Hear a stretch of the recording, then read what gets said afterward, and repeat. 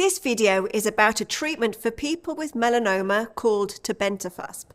I'll be describing what it is, how it works, and who it's given to. Tebentafusp is a very new sort of treatment. It's been designed with the aim of creating a bridge between a person's cancer cells and T cells of their immune system. Because it involves the person's immune system, it's a form of immunotherapy. In this video, I'll try to answer these questions. Who is tebentafusp for? What is tebentafusp? How does it work? Why do you have to do HLA matching? Does tebentafusp cure people? What sort of side effects does it cause? And finally, where next? Where do we go to from here? Let's start with who it's for. Tebentafusp has mostly been tested out as a treatment for people with uveal melanoma, melanoma affecting the eye. This type of melanoma is very rare. Just 3 to 5% of melanomas are uveal melanomas. In around half the people who develop this cancer, it spreads to new locations in the body. If this happens, it becomes very difficult to treat. It's these people that tebentafusp has mostly been given to so far, so it's these people who are most likely to be offered it, for the time being at least. Now let's look at what tebentafusp is and how it works. Tebentafusp is a new sort of treatment. Sometimes it gets described as a bispecific protein.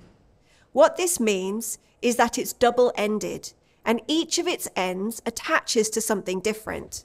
One of its ends attaches to a tiny little piece of a protein called GP100. GP100 is often made by melanoma cells, and tiny fragments of it end up in a little cup structure on their surface. One end of tebentafusp attaches to this little protein piece. The other end of tebentafusp is designed to attach to something called CD3. CD3 is always found on the surface of T cells. As I've said in other melanoma focus videos, T cells are powerful white blood cells of our immune system. They are great at getting rid of virus infections, and they're also great at killing cancer cells. When tebentafusp attaches to GP100 with one end and to CD3 with its other end, this creates a physical bridge connecting a T cell to a melanoma cell. The T cell then kills the melanoma cell. An infusion of tebentafusp will contain millions and millions of copies of this double-ended treatment. So the aim is that millions of T cells will all start killing the person's cancer cells. Now let's move on to the next question. Why do we have to do a test called HLA matching before giving it to someone? Before someone receives tebentafusp, their doctor first needs to find out if they're eligible. This involves something called HLA matching. The doctor uses HLA matching to check whether tebentafusp will be able to attach to the GP100 on the person's cancer cells. GP100 sits inside a little cup called an HLA protein, and the shape of these cups varies from person to person. Tebentafusp needs to connect both with GP100 and with the cup that it sits in in order for it to work. Each of us inherits HLA cups of different shapes from our parents. We each inherit a mixture, some from our mother and some from our father. Tebentafusp can attach to GP100 if it's sitting inside a cup called HLA-A0201, which up to a half of people have depending on their ethnic background. So, before receiving tebentafusp, the doctor asks for HLA matching to be done to find out if the person has inherited HLA-A0201. If not, there's no point giving them tebentafusp, as it wouldn't work. Now let's look at how much tebentafusp has helped people with uveal melanoma and the sorts of side effects it causes. These are some of the results from a large study involving over 350 people with advanced uveal melanoma. All of them had the right HLA cup, called HLA-A0201. Each person was randomly allocated to receive either tebentafusp or their doctor's choice of treatment. Their doctor could choose between two checkpoint inhibitors, ipilimumab or pembrolizumab, or dacarbazine, a form of chemotherapy. As you can see, a year after receiving treatment, more of the people given to tebentafusp were still alive compared to the people given one of the other treatments. 73% versus 59%. However, a bit strangely, not many people's tumours had shrunk by very much. But because of the improvement in survival times, this trial was deemed a success.